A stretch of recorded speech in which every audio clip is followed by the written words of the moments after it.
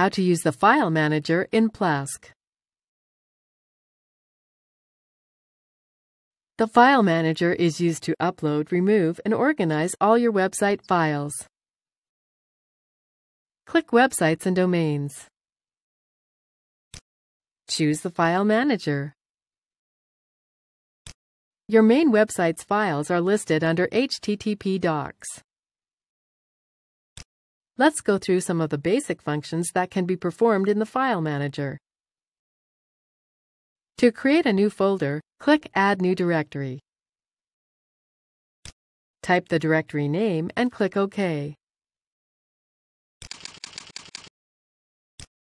The directory has been successfully created, and we have been automatically redirected inside of it.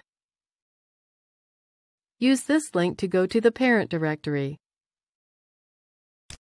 Clicking this icon allows you to edit the folder. Set the new name. If you need to delete a directory, select the box next to it. Then click Remove. Check this box to confirm removal and click OK. Now that you know how to add and remove directories, let's see how to upload files. Click Add New File.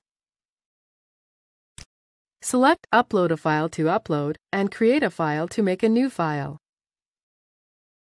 Click Choose File. Browse for the file on your computer and click Open. Now click OK. Here is the file we just uploaded.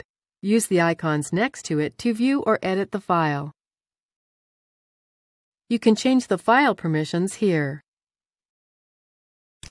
Set which groups of users will be able to read, write, and execute this file.